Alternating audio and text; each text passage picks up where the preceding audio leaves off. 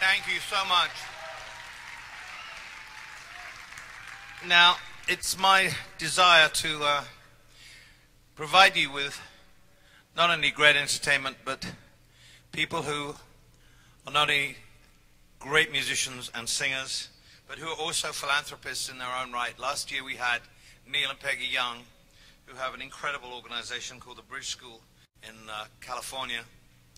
This year we have k.d. lang, who has an amazing charity of our own, which I only found out about a couple of years ago.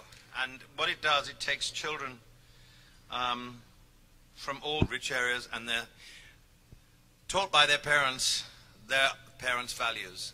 And so these kids go away, and I've seen the result because I've been at an event where these kids come back and they come and it's changed their whole lives, their whole perception of life. What an incredible idea to have children who have no hatred. Um, so she does an amazing job with this very small charity. As she said at the table, it's a boat, but it's a very important boat. And she's, for me, probably, and there are some great female singers around, Mary J. Blige, Diana Krall, Barbra Streisand, um, Amy Winehouse. Um, God, the list is endless.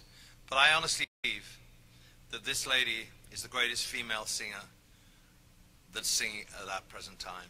And I really mean that. As a musician, I really honestly believe that. And you're about to discover why I believe that. Because I am so proud that she's a friend. She stands for everything that I stand for. I love her dearly. Please, k.d. lang.